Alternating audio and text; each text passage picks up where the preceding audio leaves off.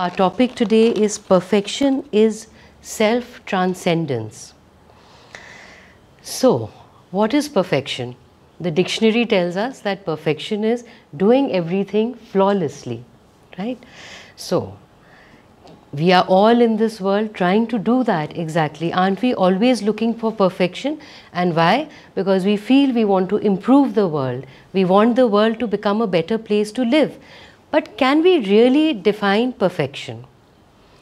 I'll give you a simple example which I thought, uh, which is a personal experience, aloo ki sabji, right? All our husbands think that the mother's aloo ki sabji is the perfect aloo ki sabji. But I don't think a lot of wives agree with that. yeah.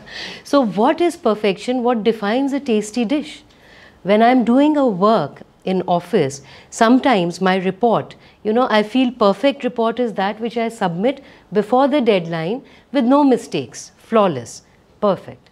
But then comes another colleague who gives a beautifully made report, you know, not needed, but has put the graphs and charts and everything, you know, makes it so readable, flawless again, no mistakes, and submits it. Is that perfect? Then comes along another colleague who says not just one report, let me give another solution to this you know problem and this report. So he makes two reports and submits it before the deadline. What is perfect? In this world which is relative, absolute perfection is something which is very difficult to define, right? We can only think in terms of comparison. This report is better than that report, isn't it? But we look for perfection in the world. World is not perfect, the master said. Swamiji said that duality, extremes exist in this world. But what are we looking for? Constant joy, constant love, constant pleasure. But they say that where there is light, shadow is inherent. Where there is joy, suffering is there. And both come like waves of the ocean, one after the other. Joy, then there will be suffering, then joy. Because Swamiji gives an example of an ocean. He says there are crests and there are troughs in the ocean, right? But the water remains the same. So if there is a crest somewhere, trough has to be made. And also, the more scary part is that that crest will soon become a trough and the trough will soon become a crest. So it's always going to change. Where are we looking for perfection here? There is no perfection that exists in this world, right? So, okay, I just said perfection doesn't exist. But if we are really looking at Mona Lisa, a really beautiful painting, a really beautiful song, what is it that creates beauty in us? If we reflect for a moment, what makes something really beautiful, maybe not perfect, but beautiful? What makes it really beautiful? Don't you think it's the harmony on paper? Right? Everything just kind of blends together beautifully. That poem, not a word out of place right? The colors all blended beautifully, symmetrically, spatially. Harihar is an architect, he will support that the beauty comes in symmetry, right? So that peace and harmony, when we can bring it on paper, then we start to see beauty, right? And maybe we are inching towards perfection. So Swamiji says that we can only create a perfect work in this world when we create it from inside of us from a place of peace and harmony, right? So he says, ego consciousness doesn't work, right? Soul consciousness, when we work from, then we can do perfect things. Why? Because soul consciousness knows harmony. How does it know harmony? Because it knows that there is no difference. We are one with everything in this world obviously there's going to be harmony. There is nothing different to be discordant with. We are one with everything. We are in complete harmony with nature. We are in complete harmony with creation, right? That is where we are coming from. Then we create a perfect work or a piece of art. So Swamiji says, allow the divine consciousness to flow through. Move yourself away, right? Let your ego go. And Swamiji should know, he wrote over 400 pieces of books, of works of, you know, music. So he said, whatever was done in my name was not my work. right? It was always the masters flowing through me and I just became the perfect channel for this work. And what was so perfect about it? It was in fact effortless. He said, I think for the Bhagavad Gita, such an important deep scripture, he completed it in three months. He said, humanly, he himself said, humanly it was impossible to do that work, right? So it's effortless flowing. And why is it so perfect? Every person who comes in touch with it, who comes in contact with it, what do we feel? Completely touched, right? We feel uplifted in that energy. And that, he says, is the perfect work, right? As this reading says, be you perfect as thy Father in heaven is perfect. Where are we looking for this perfection? Yes, the masters are telling us to be perfect. But if we look at perfection outwardly, can we ever be perfect? We have so many roles in this world husband, wife, right? Mother, child, son, so many. Are we perfect in every role? You have a business rival, probably you dislike him deeply, right? But when he is a father in his house, his children love him deeply. His wife probably loves him deeply as well. So, where is perfection in this world? Swamiji said about Gandhiji. He said he was a saint. He brought all of India together and a very important part of our freedom struggle to get freedom for India. Right? Was he perfect? He was perfectly dedicated to the country's independence. But what about in his own own family? His children always felt that he sacrificed their personal happiness for the nations. So in this world, outwardly perfection is difficult. What is perfect then? It's inwardly, right? Again, when we can transcend that ego consciousness, when we forget, when we realize that we are not this limited body, we are not this limited mind, then our real nature, our soul consciousness, which is perfect, which is blemishless, stainless, and pure, that shines through, and that is perfect, right? So, how do we live in this world? We need to live and act as though we are limitless. We are already the soul consciousness.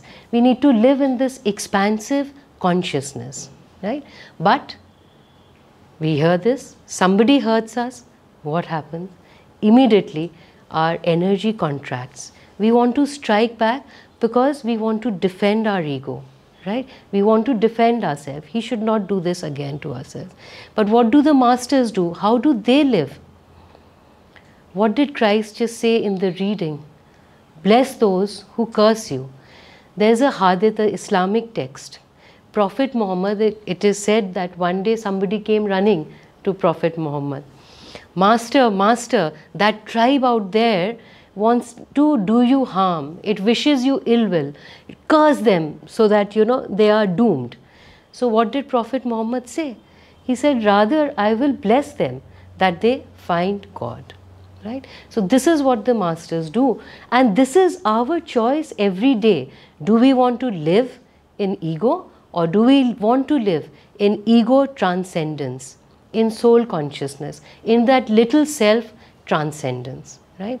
We, we feel, we want, if we live in ego, it's always going to create a kind of barrier, a separateness from everyone. Everybody is a threat. We live in fear, isn't it? when we say, I want to forgive, but what if he does it again? He'll do even more to me or he'll take advantage of me. This is the ego speaking which fears everything, right? But the minute we start to forgive, the minute we start to accept other people's realities, we start to accommodate and understand them, then we start to transcend the ego. Now, I read this in a WhatsApp, which is commonly doing the rounds right now. Sometimes they are good. what happened in that? It said, be like a tree that when people throw stones at you, yeah, everyone's heard that, you shower fruits. Now that's a big thing. You know, there's this story of a Zen, uh, of a Buddhist monk, I think, who was, uh, you know, standing by a river and somebody was watching him. What was this monk doing? he was trying to pick up the scorpion from the river and put him on the shore so that he could save the scorpion. But the minute he would pick up the scorpion, it would bite him, and with pain, he had to just release it. And this kept on going on, and this person is like, you know, uh, what are you doing? He comes to the monk, monk and he says, What are you doing? If there are too many bites, you're going to die with the poison. So he says, What can I do? It is the nature of the scorpion to bite me, but it is my nature to rescue him. So, this is what they are. Their hearts are completely open. There is no ego left to defend, to save. The body is no longer an important, it's just a medium to do welfare for others. You must have read so many stories of Master doing exactly the same thing. Being in America in those times, they never had seen a Hindu or an Indian before right so he faced a lot of prejudice maybe hatred maybe many insinuations and what did he do did he ever say oh no I'm good, you know, I'm this, this, this, and my religion is so great or my country is so great. Never tried to defend himself, never tried to defend anything. In fact, what did he do? He would go up to that person and calm him down because his only thought was, How can I help him? And if you see the endings of all the stories, all of those detractors ended up becoming disciples. So, this is how we touch people, not by defending our ego. They are always going to constantly keep coming back on us. But when we go with that attitude that we want to help you, ego knows soul consciousness, yes, that divine consciousness when it flows through us. Then and then alone we are perfect and allow this perfection in this world. Let me end with this story um, you know, uh, master was in Yukteswar ji's ashram, right? Uh, when he was training, and this story he recites in the autobiography of a yogi. He says, sometime after maybe few weeks or few months of living in the ashram with his guru, master is like, now I've had enough of the ashram duties. I'm going to meditate continuously and go to the Himalayas. So he decides that's where I will quickly find God. So he tells Yukteswarji, this is what I'm going to do. So Yukteswarji kind of hinted, you know, mountains, if they gave self-realization, the goats would be self-realized. You need a self-realized master to be with you, right, to guide you. But he didn't give a firm no, so master took it as a yes and his permission and he goes away. After many experiences, finally he realizes no, I need to be with my guru, and he comes back. Now he's a little shamefaced because he just left suddenly, you know, and he's like, now guru probably will be angry with me. So he reaches, and Yukteswarji says, Oh, you've come. Come, let's see in the kitchen. Is there something to eat? So Yoganandji is like, What? Aren't you angry with me? If I had left even my father and left all my duties and gone, he would also have been angry with me. So Yukteswarji says a very beautiful thing. He says, Why should I be angry with you? Nothing anybody can do can ever anger me because I want nothing from you except your own happiness. Right? So, this is how these masters are, and from their example, we learn what true perfection is. What do we do? Give everybody a remote control to our happiness. Right? You come and hurt me, now I'm going to be depressed for 10 days. You do this to me, and I'm going to be unhappy for another 5 days. So, no, let's learn that divine, there is nothing going to be achieve, achieved because we are living in an imperfect world, right? Nobody is going to be convinced by you, by your greatness, you know, by your great nature. Nobody is going to be really convinced by you. The only way you can convince them of your perfection is by giving love to all of them. Thank you. So let me start um, a satsang with a disclaimer. My wife's aloo sabji is better than my mom's. no, I'm not, I, that was not a joke. anyway, um, when we strive to achieve perfection in this outer world, and I just realized yesterday that this topic was uh, the same topic I presented last year, the same time, and uh, Gaurav, Brahmachari Gaurav should be here, but uh, he is not present, so I'm uh, presenting uh, this part. So, when we talk about perfection, let's ask ourselves a question. How many of you think, uh, uh, feel here that you guys are, you guys are perfect in your work? Just show your hands. No one? Or how many of you want to be perfect in your work or anything? So those of you online, everybody raised their hands here. and we try to express that in many ways. Uh, people want a perfect body and perfect dress or a makeup. And when it comes to ananda also we guys also seek perfection in you know being a perfect disciple perfect instrument of god. Somewhere we want to be perfect.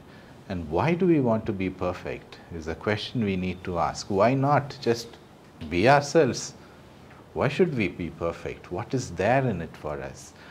The innate uh, want, the need to be perfect is because God is perfect. And by wanting to be perfect, we are actually seeking God. By wanting to be perfect in the outer world, we are wanting to, we are trying to see God in the outer world. Unfortunately, that is more or less not possible.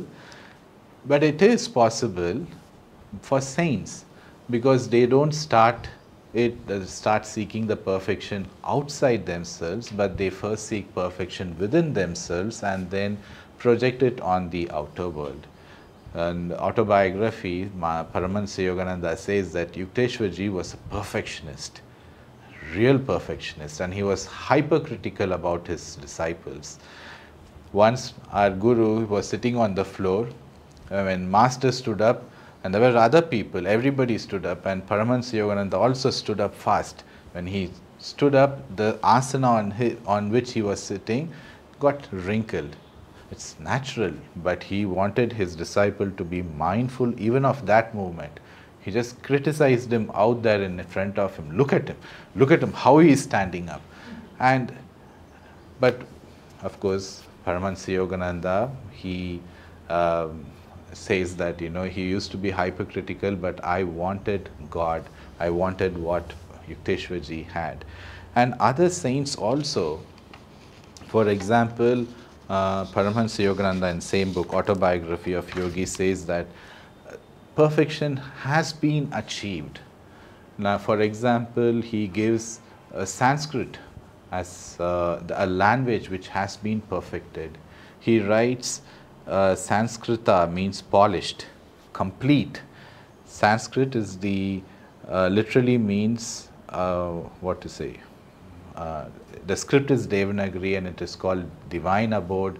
And Panini says that it is the perfect language and how they were able to achieve it because first they found God and they were able to achieve that perfection outside, not the other way around. And uh, we also have other, uh, mm, you know, descriptions of perfections. And Paramahansa Yogananda says that Upanishads classify what perfection means, what perfect, being perfect actually means. Being perfect doesn't mean depend upon the work we do or how we speak or it's not about the outward world but about the inner achievement. And uh, he writes that the upanishads have minutely classified every stage of spiritual advancement a siddha means a perfected being has progressed from the state of a Jivan Mukta, freed while living, to that of a Paramukta, supremely free. So, a perfected being is called Siddhas. And for us to reach there is not impossible. All our masters are here to convey this to us, to help us reach that perfection once during a Kriya initiation, where Swami Kriyananda was also present in that initiation, he said of there were many angels and uh, you know uh, and saints were there, uh, astral, was astrally present in that in, during the Kriya initiation. And he said, those who are here, many of you will be Jivan Muktas and Siddhas. So that is a possibility for us too, to become perfect, to become that perfect being. But to reach there, what should we do? Now, of course, there is a perfect technique given by Paramahansa Yogananda called Kriya Yoga. He also writes again, he says that for a human mind to become perfect, uh, to be able to perfectly express God's consciousness, we need to live a healthy life, uh, uh, you know, for millions of years, but Kriyas fastens the process of that uh, and helps us to express divine consciousness perfectly. But between those two practices, what we do is very much important as much as the practice itself. To begin with, perfection is self transcendence, and this self, what we talk about here, is our ego, which is identified, our soul, which is identified with the body, so it is ego, and it is not just identified, it is tied to our body with likes and dislikes. So how are we going to work out that likes and dislikes? And it isn't that simple because I like these things. From today on, I will dislike them. I dislike these things, so I will like them from today on. End result, I still have likes and dislikes. It just changed places. So instead of operating on likes and dislikes, the best way to live in this world is to tune into God's will for you what God wants to do. And the answer here is the we cannot have live by a set of rules. For example, there are seemingly contradictory, um, you know, teachings or actions done by great saints. Uh, when Jesus Christ was crucified, he prayed for those who were crucifying him.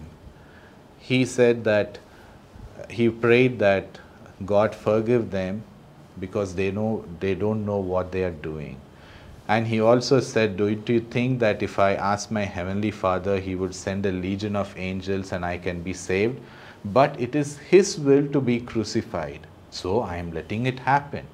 At the same time, um, Guru Gobind Singh was again enlightened. He organized an army to fight you know, he didn't say, you know, when people were attacking the village, he did not say that, oh, forgive them, they know not what they are doing. So it is like two enlightened saints, and uh, Master was also a warrior in previous incarnations. How are their actions different?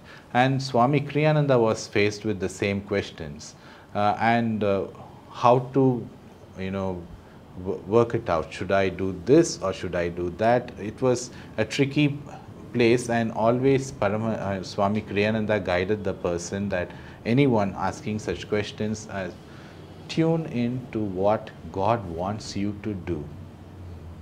And that is much more important. And how do we tune in? Of course, by meditation, by practicing uh, regular meditation, by asking Guru and asking their guidance and their guidance is always present.